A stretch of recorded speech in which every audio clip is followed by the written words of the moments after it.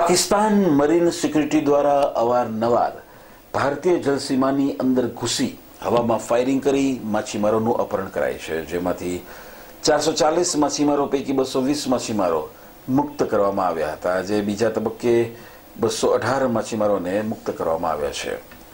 આ સાથે ભારતીય જેલમાં અને ભારતીય કોસ્ટ ગાર્ડ અને નેવી દ્વારા પકડી પાડેલ પાકના એકસો પચાસ જેટલા માછીમારોને મુક્ત કરવા પણ ભારતીય માછીમાર આગેવાનોએ માંગ કરી છે. અહેવાલ અશ્વિન ઠકરાર, પોરબંદર.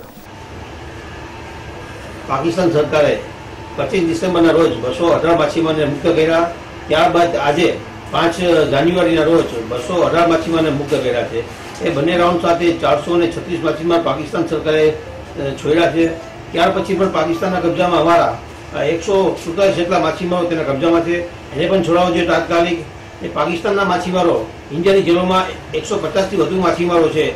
એ એને પણ છોડાવવા જોઈએ. બંને બાજુ માછીમાર છોડવામાં આવશે તો પ્રશ્ન હલ થાય એમ છે. કારણ કે અગાઉ પાકિસ્તાન સરકારે બસો અઢાર માછીમાર છોડ્યા. ત્યાર પછી એ લોકોએ પાકિસ્તાન કોસ્ટગાર્ડે તેર બોટ અને પાસઠ જેટલા માછીમાર પકડી અને કરાચી જેલમાં નાખી દીધા. એટલે એક બાજુ પ્રશ્ન હલ ન થાય.